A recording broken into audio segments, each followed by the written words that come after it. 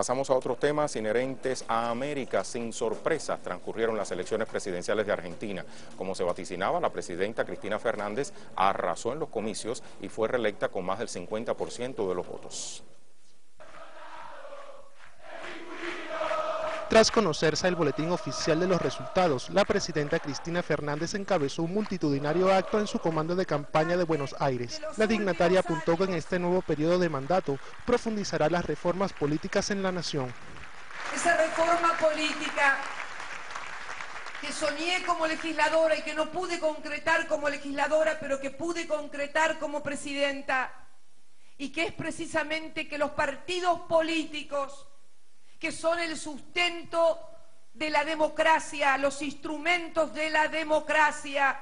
Y la democracia es el sistema donde debemos necesariamente instrumentar las instituciones para mejorar la calidad de vida de los hombres y mujeres concretos de nuestro pueblo.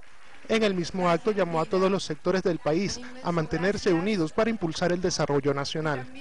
Y yo quiero convocar, convocar a todos los argentinos a la unidad nacional, a que no nos distraigan con enfrentamientos inútiles, a que no discutamos sobre los hechos y las realidades, que en todo caso si esos hechos y esas realidades pueden mejorarse, pueden enderezarse, nos digan cómo hacerlo.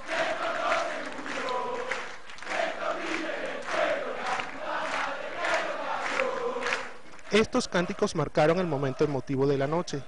Tras esta consigna, la reelecta presidenta argentina relató la trayectoria política de su difunto esposo Néstor Kirchner. Tenía que decir estas cosas porque, porque él, él se las merecía. No las estoy diciendo, que quede claro, por favor. No las estoy diciendo como su viuda. Las estoy diciendo como su compañera de militancia de toda la vida. Que nadie se equivoque. No hablo de él como marido, hablo de él como cuadro político.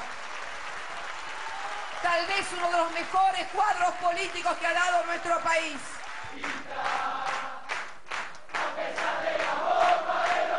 Durante la concentración política, Cristina Fernández agradeció las felicitaciones enviadas por los diversos presidentes suramericanos.